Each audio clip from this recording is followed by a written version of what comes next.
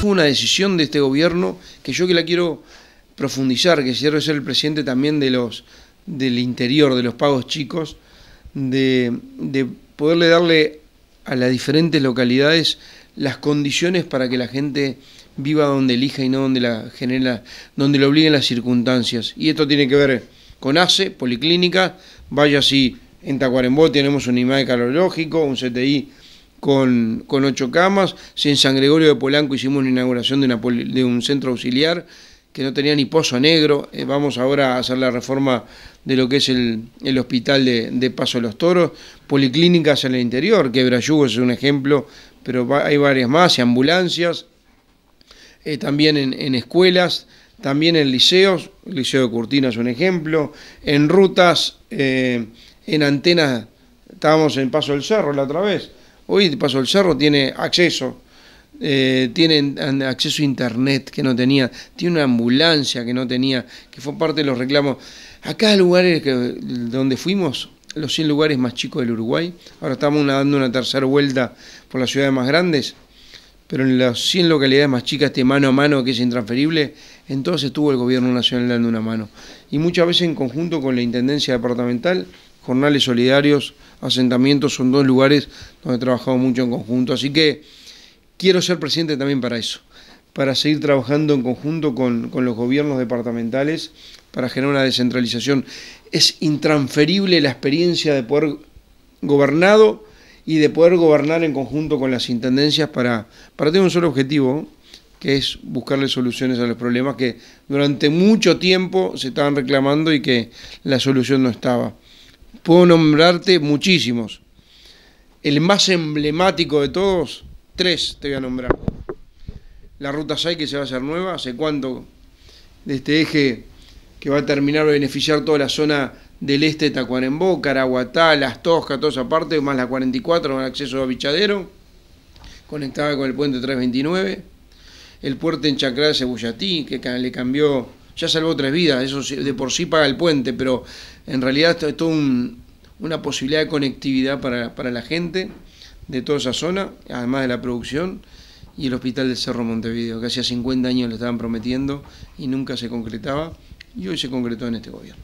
Estás hablando de muchas infraestructuras que se han avanzado últimamente. Eso genera que por ahí lleguen más industrias a nuestro departamento y trate también de generar más puestos de trabajo, que es algo que también la sociedad está reclamando y mucho. Mira, a ver, tuvimos cinco crisis, empezando por la pandemia que condicionó el mundo y también Uruguay. los uruguayos todos nos costaron 4.418 millones de dólares que no estaban en ningún presupuesto. Sin embargo, nunca usamos como excusa la crisis para no hacer lo que había que hacer, ni para subir los impuestos, que fue tentador en la mayoría de los países. Acá bajamos los impuestos y salimos junto con la gente de la crisis, generando yo creo que algo que es muy lindo, que es cuidar a la gente, y la gente se sintió cuidada. Ahora, también hicimos lo otro, ¿no? que es ordenar la economía. Encontramos un país complejo, encontramos un país el 1 de marzo del 2020, después de 15 años de gobierno con mayoría propia y bonanza económica, con 10.5% de desempleo, 194.000 uruguayos sin laburo, con 218.000 uruguayos en más de 650 asentamientos, con 5% de déficit fiscal, con una inflación de casi dos dígitos y a punto de perder el grado inversor. Hoy, 2023, año cerrado, tenemos crecimiento económico, tenemos 3 puntos menos de desempleo, tenemos el mayor salario real promedio en los últimos 50 años, tenemos menos de la mitad de la inflación que lo que teníamos en el 2019, tenemos un 20% más de inversión que lo que teníamos en el 2019 y además tenemos récord de personas trabajando en el Banco de Previsión Social, 1.720.000 uruguayos, tenemos 4 puntos menos informalismo, implica casi 4 puntos, implica 50.000 personas más en el Banco de Previsión Social. Y tenemos algo que es para mí de lo más lindo que es dos reconocimientos a nivel mundial que lo ponen a Uruguay en el mundo. El tema de cómo manejó el Uruguay la pandemia, hoy está dentro de los 10 países que mejor manejó la pandemia en el mundo, nos llena de orgullo, no por el gobierno, por los uruguayos. Y lo segundo es, hoy tenemos la nota crediticia, la nota económica, la calificación económica mejor de, los, de la historia del Uruguay. Eso implica, es un, obviamente un mensaje muy fuerte de ratificación de la confianza a una línea de trabajo económica que es un rumbo de desarrollo, de creación de empleo, de distribución, de políticas sociales y sobre todo de certeza que es lo que representamos hoy. Para finalizar, ¿la interna del Partido Nacional ya está definida? No, la definen las elecciones. los goles como en los partidos de fútbol no, no se merece, se hacen. Y acá, con mucha humildad lo decimos, más allá de lo que digan las encuestas, que pueden darte eh, adelante, te pueden dar adelante con luz, son fotos de un estado de opinión pública. Después hay que, la gente tiene que ir a votar. Y tiene que ir a votar y tiene que ir a votar por un candidato. Yo le mando saludo a todos los candidatos del partido porque yo creo que todos tenemos la, responsabilidad de trabajar en unidad, porque la unidad es la base del triunfo.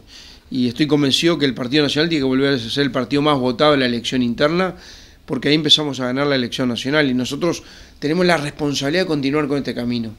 Así que ojalá ser el preferido de la gente, el preferido de los blancos, ojalá el Partido Nacional sea más votado y ojalá esa noche, eh, habiendo sido el candidato único del Partido Nacional electo por la gente democráticamente esa noche, poder anunciar esa noche la, la fórmula para empezar a transitar el camino rumbo octubre y noviembre. Uno ve el mapa y a nivel país estás con los principales referentes de cada departamento. Aquí, por ejemplo, en Tacuarembó armaste una selección armé, el Barça de la otra época, es el, como el Barça de la otra época. No es por, necesariamente por la cintura, pero sí por la habilidad.